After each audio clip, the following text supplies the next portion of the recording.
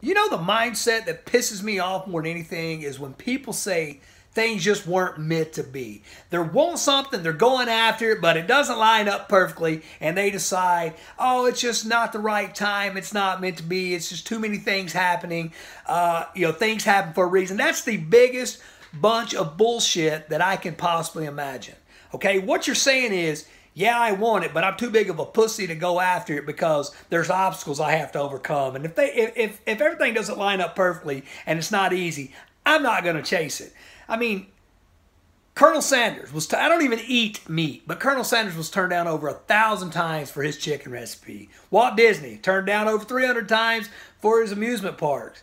Uh, Abraham Lincoln never won an election until he became the president of the United States.